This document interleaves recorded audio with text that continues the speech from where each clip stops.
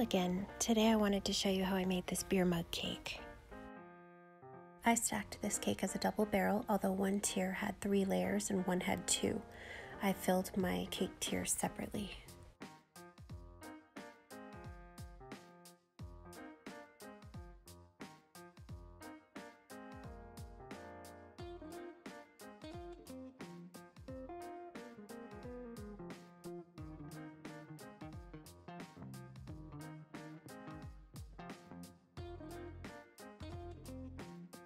You might notice that the cake board for this tier is a bit smaller than the actual cake layers. Since the two cake tiers are the exact same size, I don't want the board to stick out in the middle.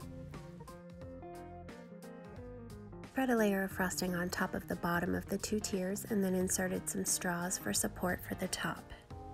It's really the exact same process that you would do for a normal two-tier cake.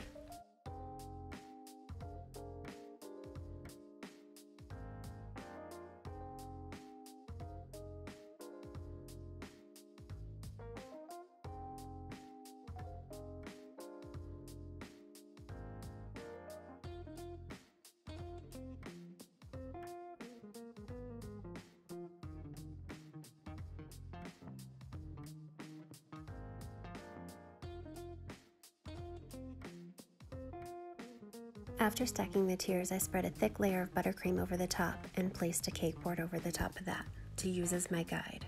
I leveled my cake and then used two straight edges to get the cake boards lined up exactly. This is very important. After doing that, I leveled the cake once again.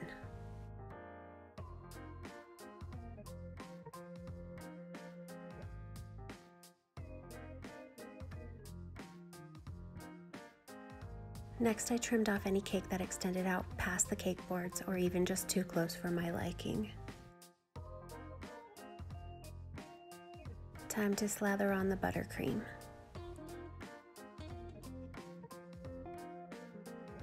I applied one full coat, scraped off the excess using my awesome Cakeheads extra tall bench scraper, chilled the cake, and then applied a second coat and scraped off the excess once again.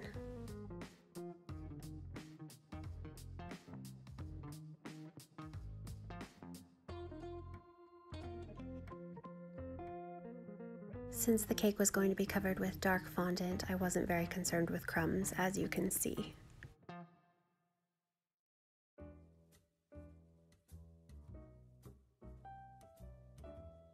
While I waited for the cake to chill, I covered my cake board with black fondant.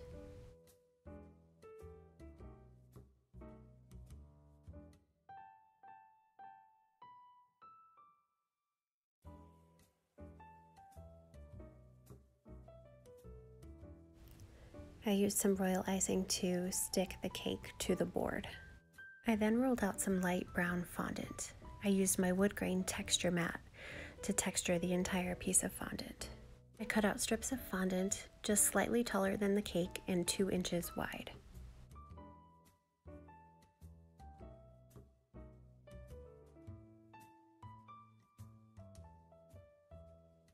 Dark brown and charcoal gray petal dust brought these wood pieces to life.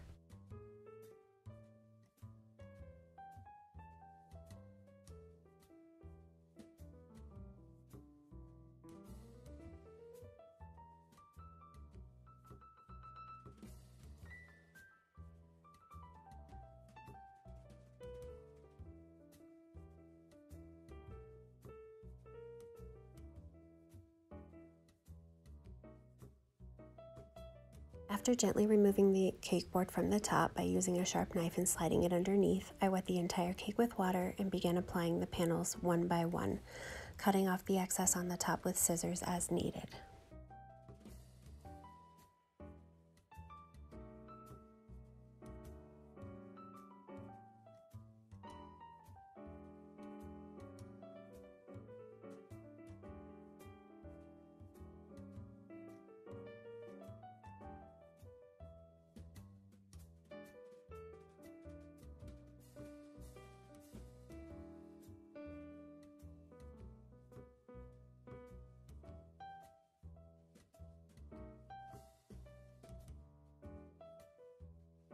Next, I rolled out some black fondant to create the metal strips that go around a traditional beer mug, although I'm not actually sure what they're called.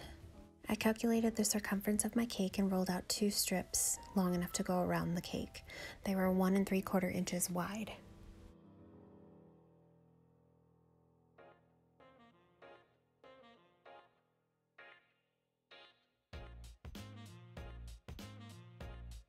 Silver luster dust made these look amazing.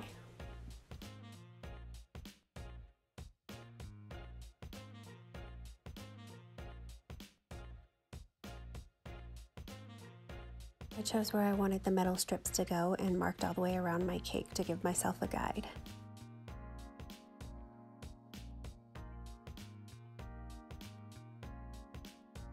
Added piping gel along my guide and attached my strips to the cake, cutting off the excess in the back.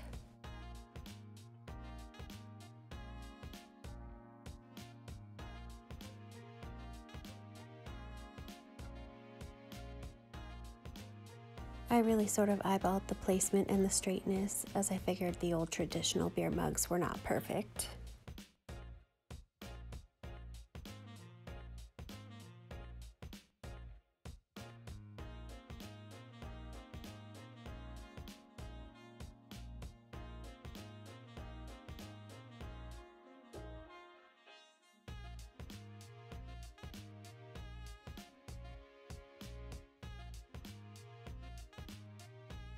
I rolled out some more black fondant and made a bunch of tiny circles to add in as the nails along the metal strips.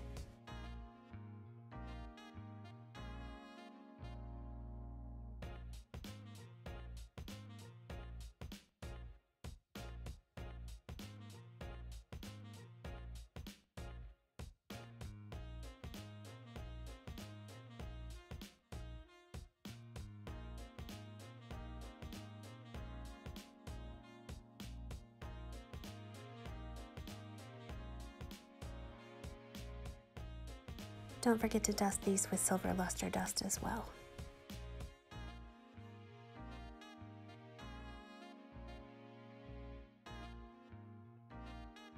I created the handle by rolling out a thick snake and inserting floral wire through the center of it. I bent it to my desired shape and then applied the same silver luster dust. I decided to add another straw into the top tier of the cake to add a little stability for the metal rod that would hold the beer bottle. I then inserted the metal rod into the center of the cake. After testing it out, I wrapped it with floral wire to ensure that it was protected from the cake. I first checked to make sure I had bent the rod at the right place, and then I wrapped modeling chocolate around the base of the rod to look like the beer pouring out of the bottle. I gave the beer some texture using a modeling tool.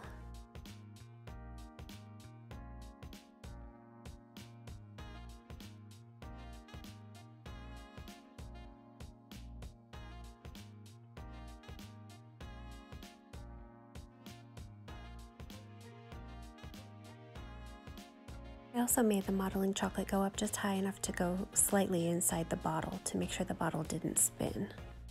Next, I put buttercream all over the top of the cake to look like the beer foam.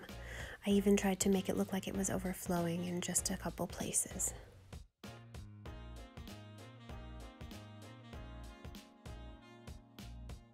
I inserted the handle into the side of the cake. I also ended up using a little bit of candy melts to ensure that the handle was good and stuck. I decorated my cake board and that was that.